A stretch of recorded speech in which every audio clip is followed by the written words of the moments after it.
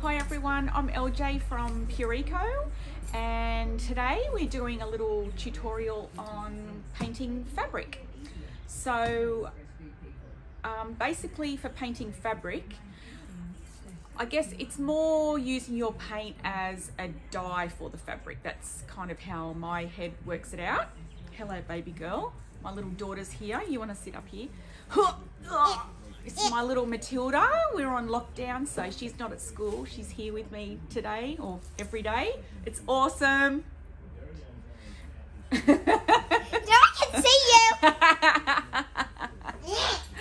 um, so my go-to uh, products for painting fabric is chalk paint. So I'm using obviously Pureco chalk finish today. Um, I use fabric softener and water and a spray mister. So we'll get started. I will show you what I've done so far. So the backing here of the chair is what it, like the before I guess. So you can see that it's got some marks on it. It's like a pale pink sort of colour. Get down. No. Get down. No. Get down. Can I sit up here while you're painting it? You can sit up there while I'm painting it. Can I help you? Okay, so this um, section Mom. here, no, no, has been painted uh, three coats and it's also been waxed. So this um, section here is complete. It is still Let me help you. pliable. You can see I'm Oh, hey, wait, someone digging I can't hear my hand. Oh, really? Is my volume not up? Okay, let's have a look see. Maybe I should put Oh, no, I can hear you the the lapel iPad. mat. I can hear you on the iPad. Um, Hey, can everyone hear?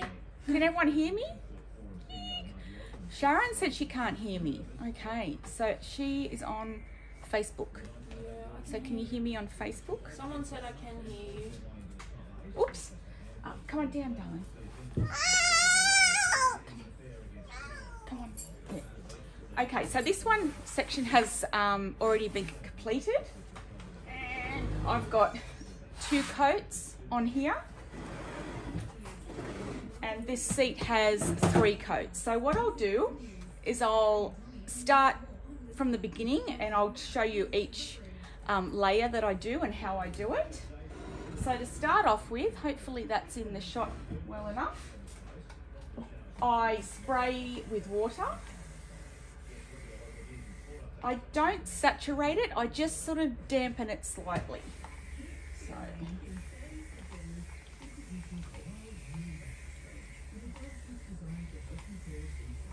Okay. And so I've got my chalk paint here. It's probably mm, maybe 100 mil there. And what I do is I put some fabric softener in it. So that helps um, keep the suppleness of the fabric. And I usually, I do it all by eye. I don't measure, sorry. But I usually do about half as much as the paint that I've got there. So that's probably enough. And then I do double what I've got in here of water.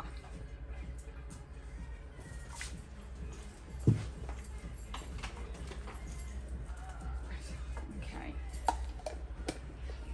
So that's my mixture that I do. So I guess 100 mils paint, 50 mil of fabric softener, and then about 150 mil of water. I just give that a good shake. So what you're left with is like a really sort of runny mixture. Okay. And then I just start painting. So basically it's you just pop pop it on. Get painting. Make sure you get into the um, grooves and um, you know, especially if you've got fabric that's got buttons, you've got to really get into those um, creases where the buttons go in with the diamond back sort of chairs.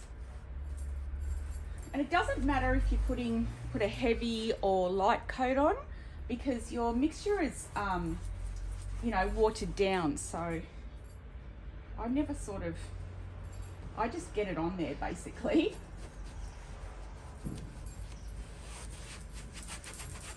Getting all the creases there. And you can use any type of paintbrush. You don't have to um, use any sort of special paintbrush or anything. So can everyone hear me? Is it going? Working?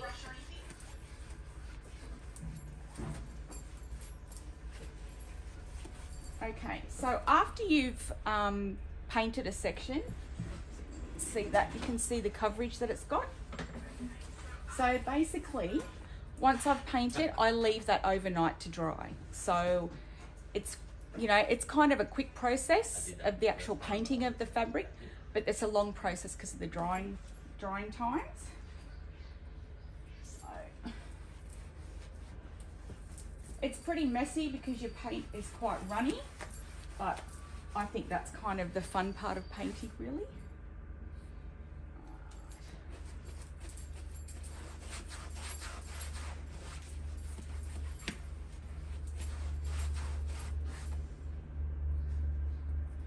So normally, depending on the um, colors I'm using and the color that I'm covering, I would do three to four coats. And you're much better off doing um, lots of lighter coats than, um, you know, one or two heavy coats because your paint um, will just dry really hard and crack if you're doing the paint sort of too heavy without the liquid to sort of soften it and um, dilute it a little bit. So your paint's kind of acting like a dye. Uh, someone's asked if you sand between the coats. I do. I'll show you that in a sec once I've just finished this little bit. I'll show you how I do it.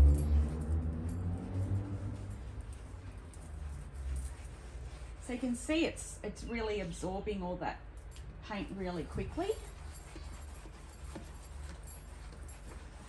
And these are they're like that I don't even know really what it's kind of like a flannelette sort of fabric. It's quite nice and soft. It's not quite velvety, but it's got that feel. Okay, so that's my one coat that I leave to dry overnight. So I'll move onto this section.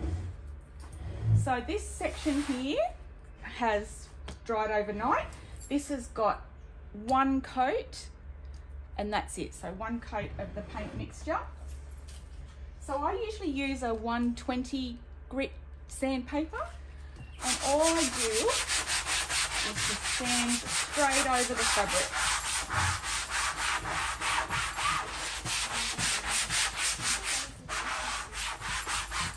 And when you do this, if you feel before and then feel after you've sanded, you can really feel the difference.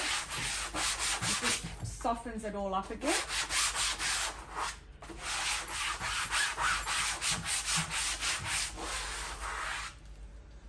And then I just get a cloth and I wipe all the,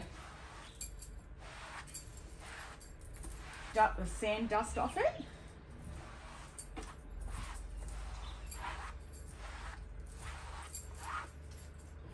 And then you just proceed to do another coat. So I do spray it again in between coats. You want to remind people just joined what your mixture is? Oh, okay. So those of you who didn't see in the beginning, I have um, 100 mils of Pureco chalk finish in the colour Calico. Then I added 50 mils of fabric softener and 150 mils of water and then just gave it a good shake. And this will keep, like if you keep a lid on it, it'll keep for a couple of days. Not too long because of the fabric softener sort of then goes in and kind of makes the uh, paint like a big goopy, slimy, slimy mess.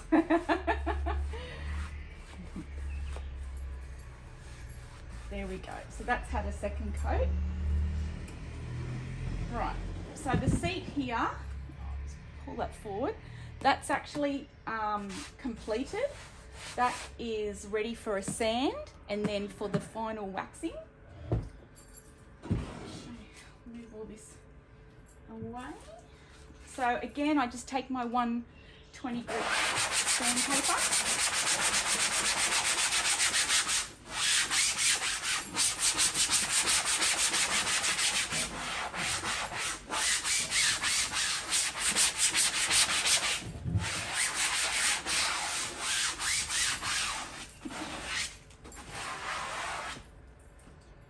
And then wipe back all the dust. You can see you do get a fair bit of dust.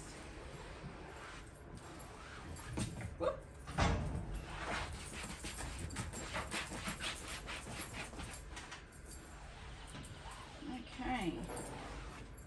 And then once you've done that, I just go on to waxing. I use a wax brush and um, get the lid off that. And I'm just using our uh, white liquid wax today. So I've got some in a tub here. So the liquid wax is basically just a liquid form of our beeswax polish that we make. It's available in 500 and 125 mil sizes and it's it's really nice and soft and easy to use.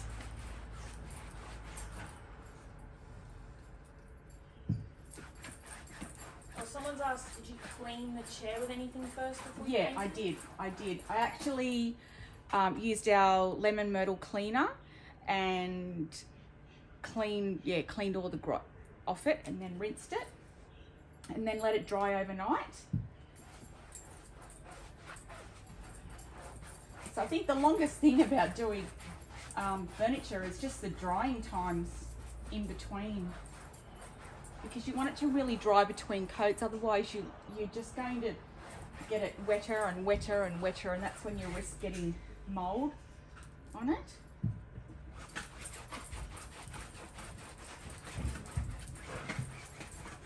So the reason I chose to do white wax is because I didn't want it to look flat I wanted to add a little bit of dimension to it so the white wax the um, the tint in the wax will sort of grab on in different areas and um, give it some variation.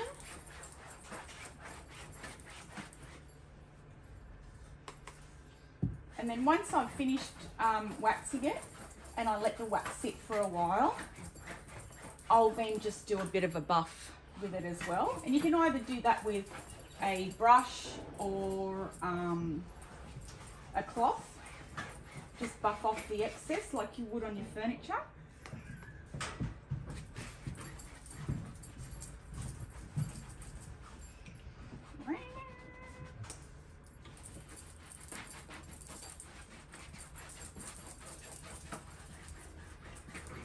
So it's pretty easy painting fabric. It's um, a nice way of updating grotty fabric. So the best fabrics to do are those that haven't um, got too much texture. If you have that like um, textured fabric that's got huge weaves and that sort of thing, it takes it's a little bit harder to keep it um, supple because the fabric's kind of bulky. But also you can paint your leather chairs, your vinyl chairs, and you don't actually with um, leather or vinyl, you don't actually have to water down the paint, but I would still use your chalk paint and wax it, like it's like it's a piece of furniture really, but the um, paint and waxes go beautifully over leather and vinyl. Okay, Um, Sharon asked, how long did you leave the wax on? Um, I usually leave it on oh, a couple of hours really, let it sort of sink in and keep that fabric soft. I've lost a few hairs.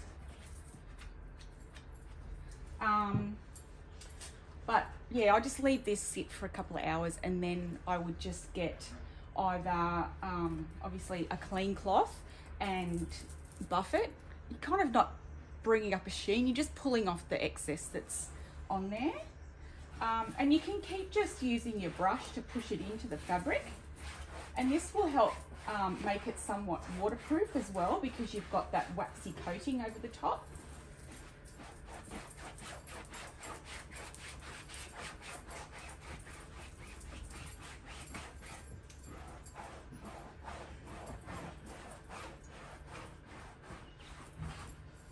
And that's kind of it really. Simple process, just kind of takes a little while with the drying times. So you basically, I hit it there with the wax. Um, yeah, basically that's it. So you start off with um, a clean piece. You then spray it with water. You apply your mixture of, um, I did 100 mils of chalk finish, 50 mils of fabric softener, and then 150 mils of water. So you apply that with a brush after spraying your piece.